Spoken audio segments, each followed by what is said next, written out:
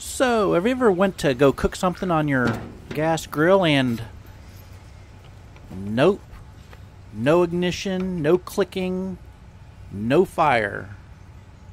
So, uh, what's going on here? We're gonna unscrew this push button and we're gonna switch out batteries. That's the easiest thing to check first. Make sure it's just not a dead battery. You just screw that back on and, uh, nope, still nothing. So we're gonna have to change out this igniter.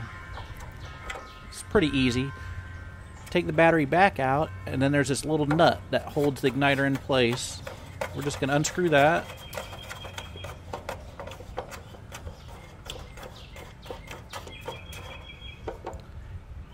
And we're gonna reach underneath there and pull the igniter out. I recommend checking there's no critters under there, or any spiders or anything like that. And uh, this is what it looks like.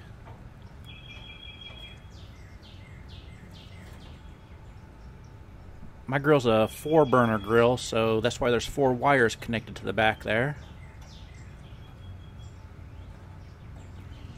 And here's the new one I got.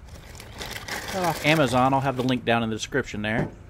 And uh, it's pretty much identical to the one that came in the grill.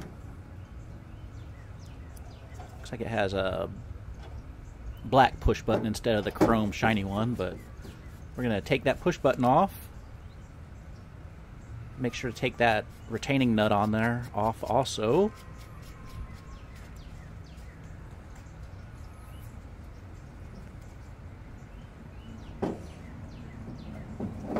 And you just pull these wires out. They're on connectors, kind of like a speaker wire, kind of. They have just connectors that push back right back on. So we're going to take each one off, push it on the new one.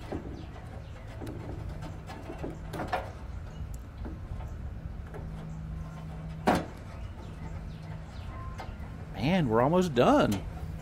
So, uh, just gonna put that back up into place and put back on the retaining nut.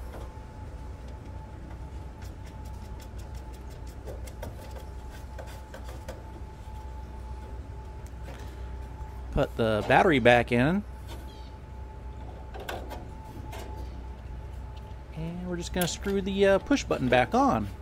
And hopefully Hopefully, yes, success. We had the clicking going on, so let's test it.